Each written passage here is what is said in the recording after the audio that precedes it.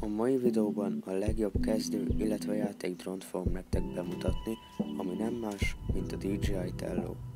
Erről a drónról már volt egy videóm, amit jobb felül az i betűre kattintva megnézhetsz, de abban csak a képi világot, vagyis azt mutattam be, hogy milyen videót készít, viszont ebben a videóban minden egyes kis zigzugát meglessük, de ha jobban tetszik, akkor mondhatjuk úgy is, hogy szétboncoljuk a tudását. A drónt három cég hozta össze, a Rise Technology, az Intel és a DJI. Ezt a mindössze 80 grammos kis gépet a DJI forgalmazza, mindössze 30-40 ezer forintért. Ez a drón tökéletes lehet kezdők számára, mivel van benne kezdőmód, illetve nagyon egyszerű az irányítása, mivel tudja tartani a magasságot az alsó szenzorának köszönhetően.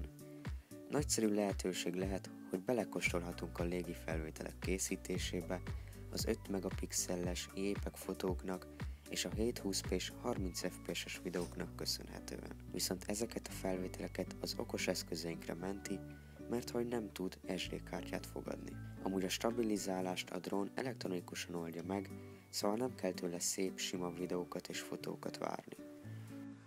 Ez a kis szerkezet mindössze 13 perc levegőben töltött időt ígér, viszont a 80 g-os súlya miatt eléggé meg kell küzdeni a széllel, ami viszont sajnos mínusz időhöz vezethet jobb esetben.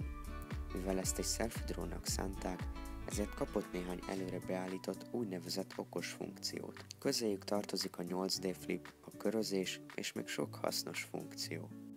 Az alkotók ezt egy játékdrónnak szánták, ezért nem kapott GPS sem a drón, ami miatt nem tud hazajönni jelvesztés esetén. Úgyhogy ez esetben a drón lebegni fog.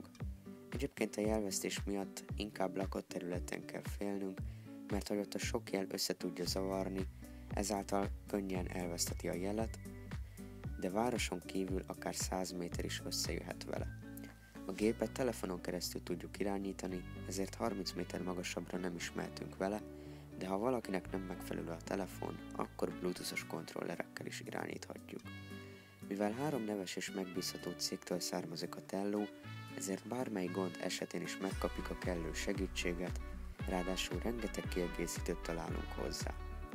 Nagyjából ezek a fontos információk róla, viszont ha valaki többet szeretne megtudni a Tellóról, akkor a leírásban lévő linken megteheti. Remélem tudtam valamennyit segíteni ezzel a videóval, ha érdekel még hasonló tartalom, akkor iratkozzatok fel.